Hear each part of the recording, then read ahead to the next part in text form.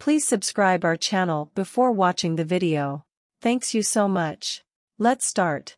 The praying mantis, also known as a praying mantid, is a fascinating insect that belongs to the order Mantodea. Praying mantises are known for their distinctive appearance, predatory behavior, and their ability to hold their forelimbs in a posture that resembles a praying position, hence their name.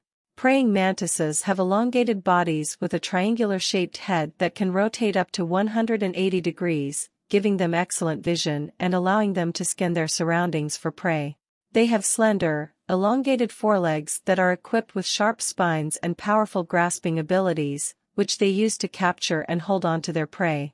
One of the most remarkable features of praying mantises is their unique camouflage. Many species of mantises have evolved to resemble their natural environments, blending in with leaves, twigs, or flowers. This camouflage helps them hide from predators and remain unseen by their prey, making them effective ambush predators. Praying mantises are primarily carnivorous and are known for their predatory behavior.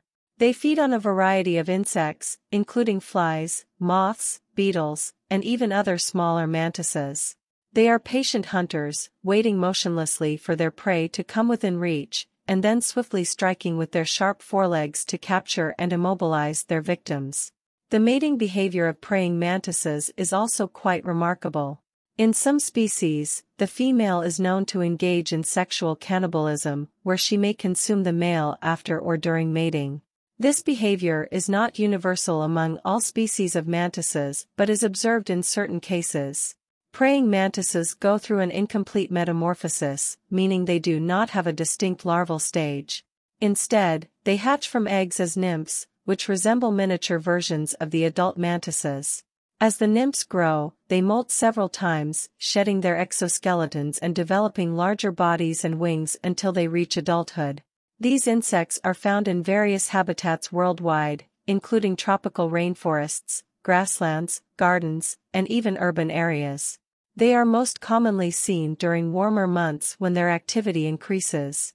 Praying mantises are regarded as beneficial insects in many ecosystems and are often introduced into gardens or agricultural fields as a natural form of pest control. Their predatory nature helps keep populations of unwanted insects in check, making them valuable allies in maintaining ecological balance. In summary, Praying mantises are fascinating insects known for their distinct appearance, predatory behavior, and unique hunting techniques.